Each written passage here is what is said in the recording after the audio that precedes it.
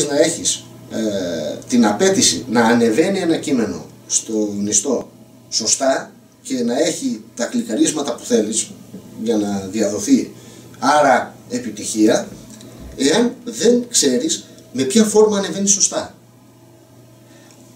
Άρα είναι αυτό που λέω εγώ από τη μεριά του συντάκτη που θα πρέπει να είναι και φωτογράφος και λίγο κάμεραμαν. Ναι, αν δεν ξέρει ένας δημοσιογράφος να καδράρει σωστά μια φωτογραφία μπορεί να εστιάσει σωστά στο κείμενο. Σκεφτείτε το λίγο.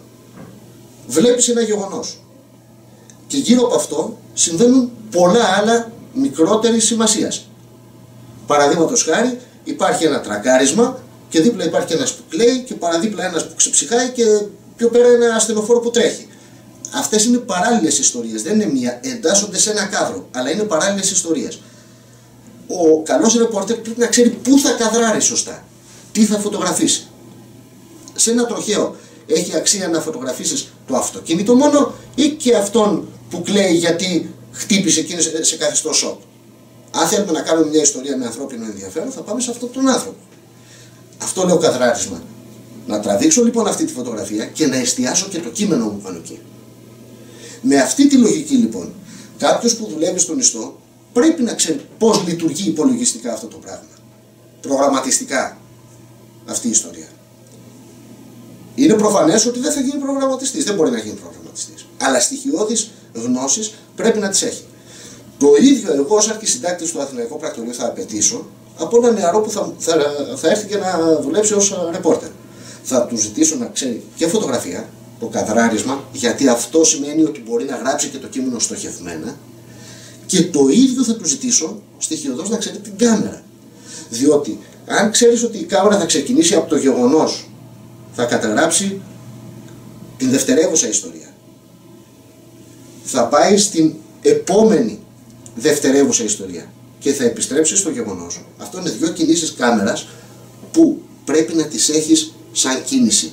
Να τις καταλαβαίνεις σαν κίνηση. Να καταλαβαίνεις γιατί γίνεται αυτή η κίνηση. Και αυτό αντανακλάται και στο στοχευμένο ρεπορτάζ που θα βγει ως κείμενο είτε σε εφημερίδα, είτε στον ιστό, είτε στο πρακτορείο, είτε οπουδήποτε άλλο. Δηλαδή, ο τρόπος με τον οποίο μεταφέρουμε τη γνώση κάθε φορά είναι απόλυτη προϋπόθεση για να καταλάβει κάποιος πόσο καλά ξέρει το σπορ ο υποψήφιος δημοσιογράφος, αυτός που έρχεται για να ζητήσει δουλειά. Αν δω ένα δημοσιογράφο να κρατάει την κάμερα και να τη χειρίζεται έτσι ας πούμε, το πρώτο πράγμα που θα υποψιαστώ είναι ότι έχει ταραχή στο κεφάλι του. Διότι αυτό το πράγμα, σαν κίνηση στη χρήση κάμερας, δείχνει και ταραχή στο κεφάλι αυτού που θέλει να γράψει ένα κείμενο. Τα δημοσιογραφικά κείμενα πρέπει να είναι, να είναι μια αφήγηση εύκολη, να την καταλαβαίνουμε. Δεν μπορεί να γράψει κάποιος μια αφήγηση εύκολη αν την κάμερα την κουβαλάει κατά αυτή την έννοια ή αν θέλει να καδράρει σε αυτή τη φωτογραφία αλλά μου παίρνει και κάτι άλλο που έτυχε γιατί δεν ξέρει να κρατήσει μια φωτογραφική μηδανή.